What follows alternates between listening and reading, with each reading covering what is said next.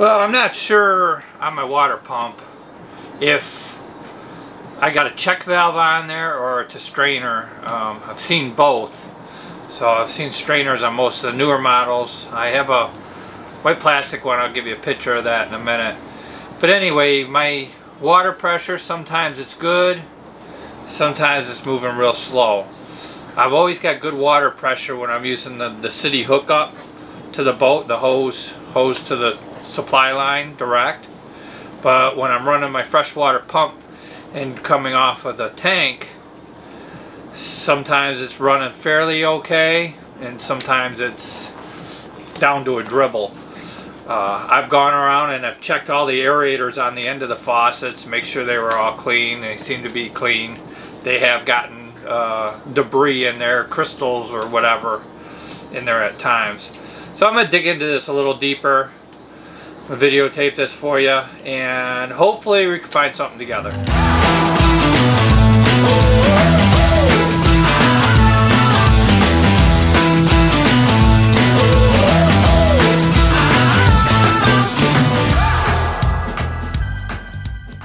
As you can see, it's it's a tight squeeze for somebody like me. I'm 6'1", and uh, it's a tight engine compartment. I only come coming down here much as uh, as least amount as possible. And I try to get all the tools ready. So I don't know what happened I try to get all the tools ready uh, so I don't have to climb in and out of here.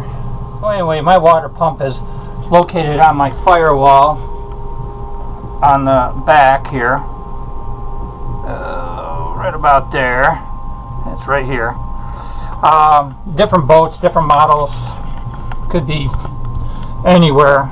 So you have to, first of all, locate your pump and then try to find the easiest, most convenient.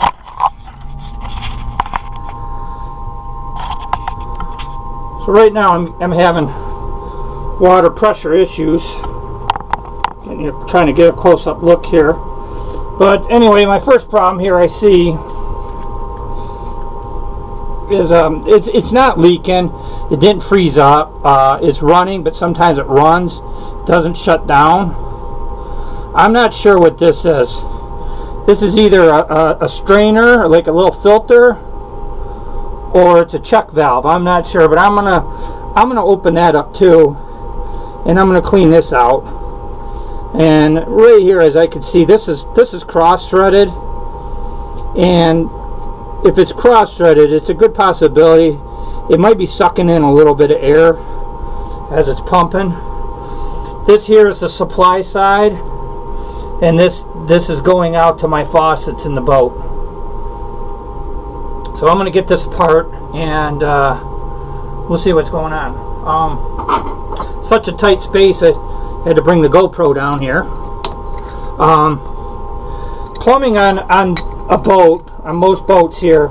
It's like a European plumbing. It looks like something you can buy at Home Depot, but uh, technically it's it's 15 millimeter. And I've only been able to see this size plumbing at boat stores. Or you can probably special order it at Amazon if you need some fittings or something. These fittings is what you do is you push up on these fittings and then there's a little great clip you squeeze and that will release the, the pipe plastic pipe. But I'm going to start right here taking this off. And I don't have a big enough wrench. Alright, I gotta get another wrench here. I'll try these. I don't have to go all the way and climb out. This should be okay. Yeah, this is gonna all come out one piece. I'm still gonna have to separate it even more.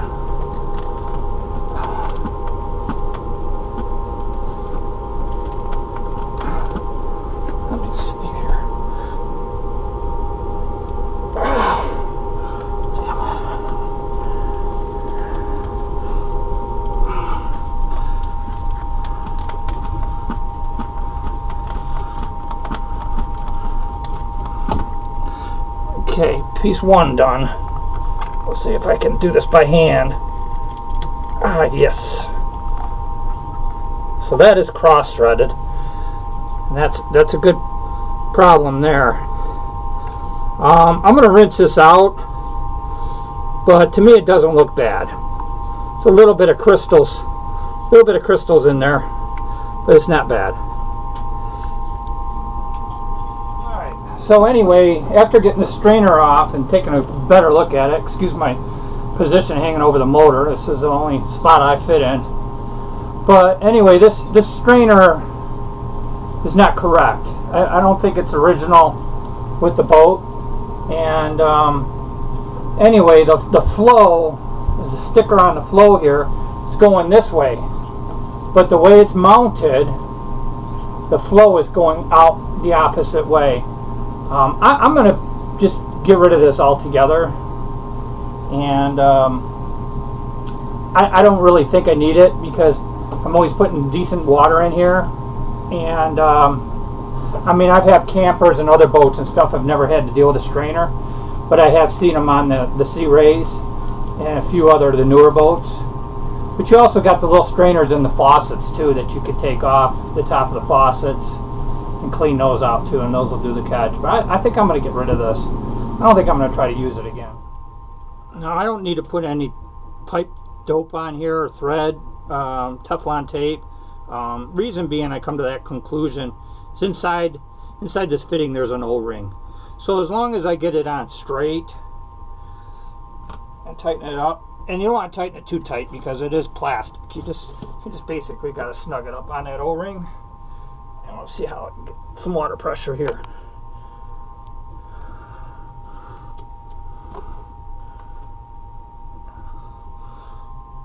It's a very tight spot.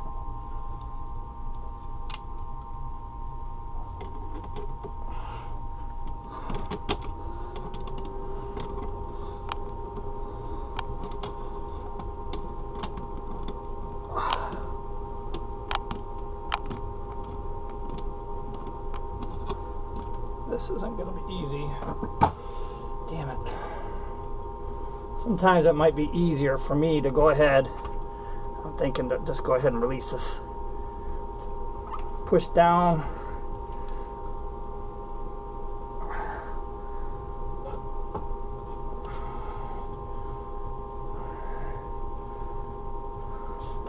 Okay, there's a little clip in there. I gotta pull out.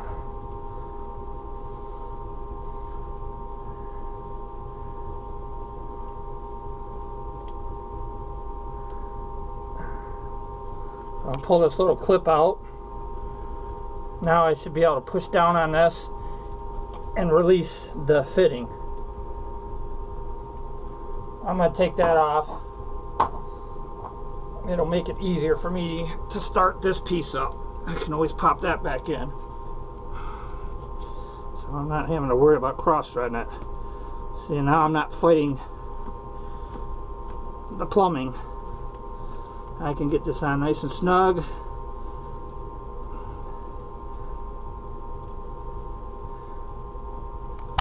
I'm just going to give it probably quarter to a half turn after I've hand tightened it.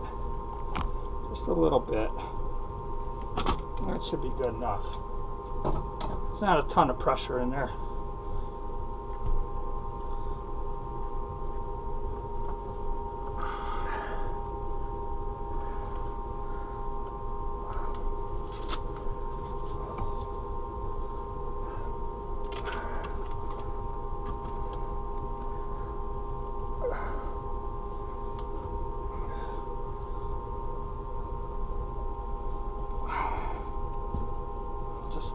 Push that up in there.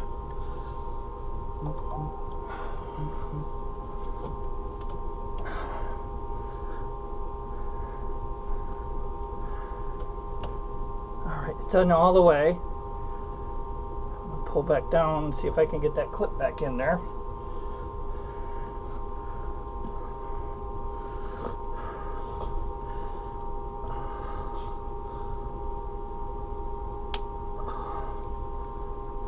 go. That clip will lock everything in place.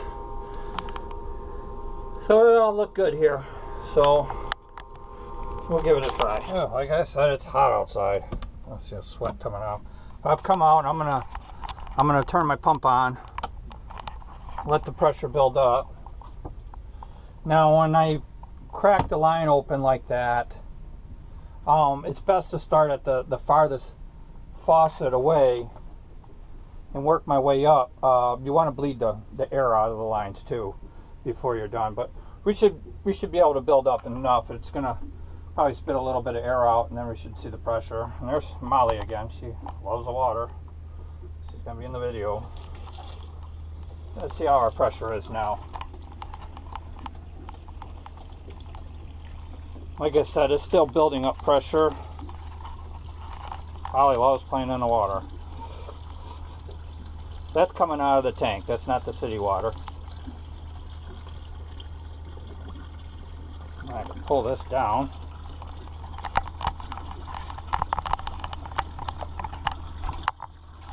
And pull this down.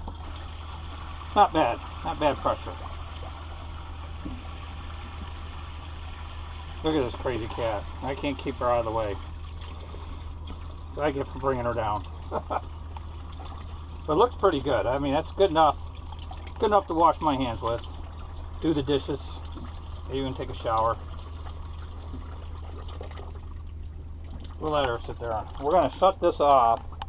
And I'm going to verify that the pump builds up pressure. We're going to bleed. We're going to bleed the bathroom out first too.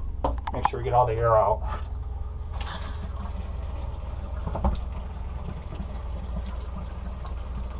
That's a hot water and cold water side. It looks like it's pretty solid. Looks like a pretty solid stream.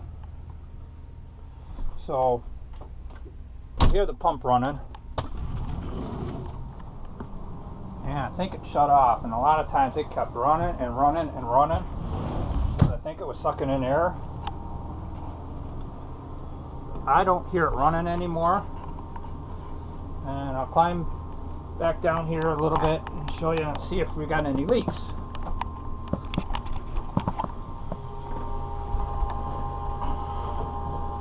Okay, it looks pretty solid and don't see no leaks and I feel like it's working much better than it did before. It was I was out, went for swimming off the swim platform last week.